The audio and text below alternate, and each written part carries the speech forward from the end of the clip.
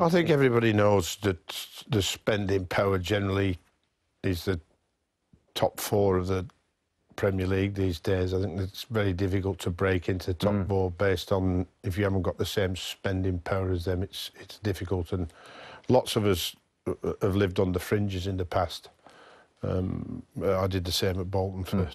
for the last two or three years, and uh, to try and get there was a, a was something that would have been beyond the club's uh, or the owner's will at the time for the spending power that you'd need to perhaps uh, find or fund for it. So uh, for for, the, for us this season, it's just enjoying the position we're in and seeing at the end of January whether we reset our own goals and say, can we finish in the top six?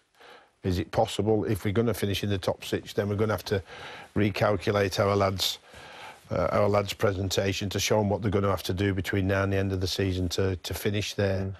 Mm. Um, uh, but obviously, at this moment in time, you know, if we carry on the way we are, you know, we're predicted a top four finish.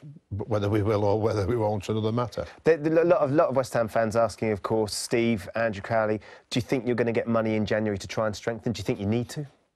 Well, I think everybody has to understand that, that we're well in to the second year of financial fair play or financial restrictions. So we all are in a much more difficult position when every window comes mm. on the limited of spending power, not just transfer fees, but wages today. And that's across the board now. So when it comes to January, it's not that, you know, ask the owners to go and find you know, this amount of money or that amount of money, even if they wanted to. Uh, they could perhaps do it, but at the end of the season, they may, may well end up with a pretty hefty fine. So we got those restrictions. So I, I would say, say one top player, if he became available, um, would be would be something that we'd pursue, but maybe somebody would have to leave to fund or help fund that it, yeah. player. Uh, and I think that there's no point in bringing anybody less than a top player because what we've got now is top draw at the minute. We've got 22 players who are all fighting for places in the team. We're playing really, really well. So if it was, is there a position player, you would you would potentially be looking at? Uh, not, not, not really. I think we've covered all positions yeah. this year. I mean, you know, we've never had as many front men.